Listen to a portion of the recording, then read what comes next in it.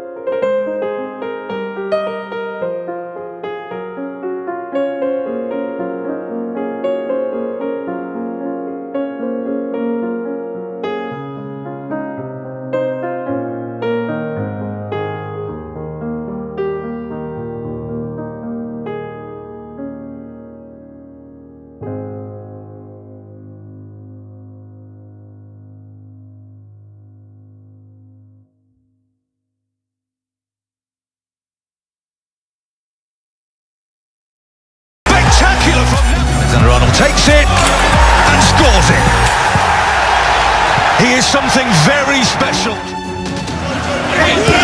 Alexander Arnold. And is this the moment? Yes, it is. Roberto Firmino scores at Anfield. It's a dream come true for all of us, and uh, it's been quite a long wait for everyone, Liverpool fans around the world, for us obviously, and uh, it's just it's just a, a great feeling. To Finally get their hands on, on the Premier League trophy. I think it's a it's a dream come true for all of us. 30 years. This might just be the biggest lift for Liverpool. Back on top in England. And for the very first time, the pride of the Premier League.